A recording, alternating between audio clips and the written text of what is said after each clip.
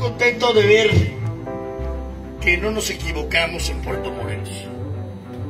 Que cuando tomamos la decisión de que un hombre con el amor que le tiene a este lugar, con el entendimiento que tiene de sus problemas, de sus necesidades, de lo que se tiene que hacer para que vivamos diferente, de lo que se tiene que comprometer con cada uno de nosotros y de nosotras para hacer de Puerto Morelos el lugar ideal para vivir. Cuando nos planteó ser candidato, veíamos en él un verdadero compromiso de entrega, de servicio y de empatía para poder buscar ser su presidente municipal. Tirso Esquivel no solamente ha conquistado el voto, sino también los corazones de Puerto Morelos. Por eso, el 6 de junio vamos a ganar con él la presidencia municipal. Y siempre tiene que haber un gran equipo.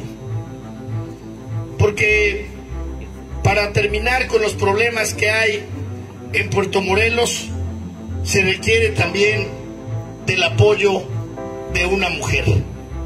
Y me da mucho gusto que en esta batalla, que en esta guerra que han entablado algunos, lo acompañe su esposa, Brisa del Mar, en lograr este objetivo.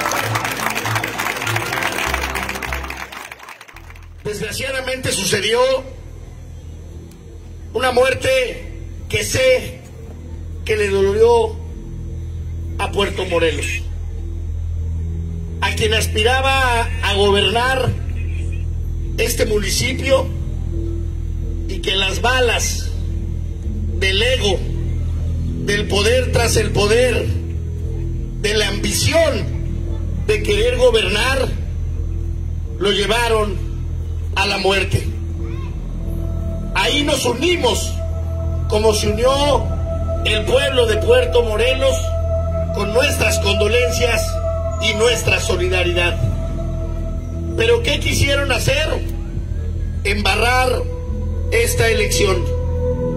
Y quisieron culpar a quien hoy de frente puede ver a Puerto Morelos. Lo intentaron y no pudieron.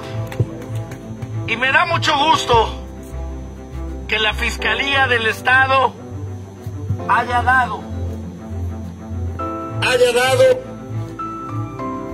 con la autora intelectual de este magnicidio.